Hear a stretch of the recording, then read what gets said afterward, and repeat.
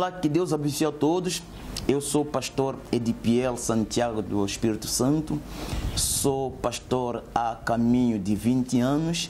É, do meu lado está a minha esposa. Eu sou a Luzia Batista do Espírito Santo, sou angolana. Estamos casados já há caminho de cinco anos e não importa a nacionalidade, né? sendo eu angolano, meu esposo santomense, não importa a nacionalidade, estamos juntos com o amor que vem da fé em prol da obra de Deus. Então, ali foi em 2002 para 2003, onde começou a minha trajetória como o pastor da Igreja Universal. A primeira minha igreja foi é, na Porto Alegre. Quando fui transferido para Porto Alegre, eu me lembro que naquela igreja foi para mim uma experiência, né? Uma experiência muito grande, porque não havia banco ou não havia cama, tinha que se dormir em cima das cadeiras, é, banheiro, não havia banheiro, mas mesmo assim nós mantemos firme, fizemos o trabalho, Deus abençoou o trabalho. Depois dali fui transferido para outras outras igrejas, passei em várias igrejas lá em Santo Tomé. E em 2013 eu me lembro que fui transferido para fazer a obra aqui em Angola. E a primeira igreja onde eu, quando eu cheguei é no Alvalade, onde eu conheci é, a minha a minha esposa.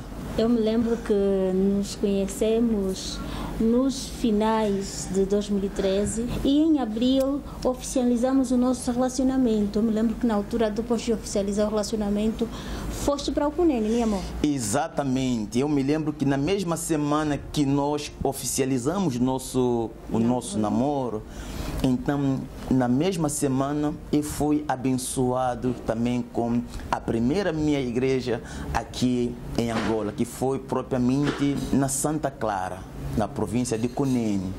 Ali foi uma grande experiência que eu teve nessa obra aqui em Angola. Começamos a fazer o trabalho, fiz o trabalho, Deus abençoou tanto o trabalho, abençoou as pessoas, é, povo, né? Abençoou a igreja. Tanto é que naquela igreja onde eu estava, eu, eu me lembro que foi lá que Deus abençoou, abençoou o nosso, nosso, noivado, nosso noivado aliás. É, foi, foi justamente depois de passares um ano no Cunene, me lembro que o nosso noivado foi abençoado. Depois de nós noiv, é, noivamos, né, fui transferido para Lubango, na, propriamente na igreja da Chibia. Depois de lá passei em várias outras igrejas.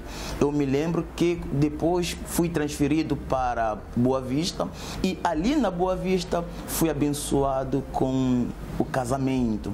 É, a Boa Vista, né, amor? Exatamente. Eu me lembro que quando foste para Boa Vista, aí nos casamos. E a Boa Vista foi a minha primeira igreja como missionária. Foi uma experiência muito boa, porque para mim era tudo novo, mas graças ao Espírito Santo consegui, né, e tenho conseguido auxiliar o meu esposo. E eu me lembro que da Boa Vista passamos em outras igrejas, né? Até irmos para Santo Tomé de volta, né, filho? Então, da Boa Vista nós fomos para Mabor. Aí na Mabor, em 2018, é que fomos transferidos novamente para Santo Tomé.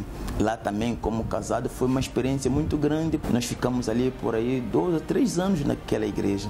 E a experiência foi muito boa, muito boa quando veio aquele problema lá em Santo Tomé, nós nos mantemos firmes, Deus era conosco, Deus nos guardou, nós, nós nos perseveramos e em 2021, né? É verdade, filho, em 2021 fomos chamados para ajudar a combater a rebelião e nos propusemos e viemos para cá em 2021 quando fomos chamados, aceitamos o desafio, cá estamos. Atualmente nós estamos na a igreja da Mabor, é, ali fazendo a obra social, ajudando pessoas que chegam, têm chegado até nós, batizando e para dizer que nós estamos firmes, né? Exatamente, nós estamos firmes e não nos curvarmos à rebelião definitivamente e dizer que nós repudiamos todo ato de discriminação, até porque Deus não tem nacionalidade. Nós somos exemplo vivo que para fazer a obra de Deus, não, não, não, não importa a nacionalidade. Quando a pessoa se, se predispõe em fazer a obra de Deus, Deus capacita, Deus abençoa, não importa se a pessoa é angolana, se é santumense, se é brasileira, se é jamaicana, até porque nós somos todos cidadãos do reino de Deus e somos contra a rebelião, não é, amor? É verdade, nós repudiamos a rebeldia para dizer que nós não curvamos, nós não nos curvamos.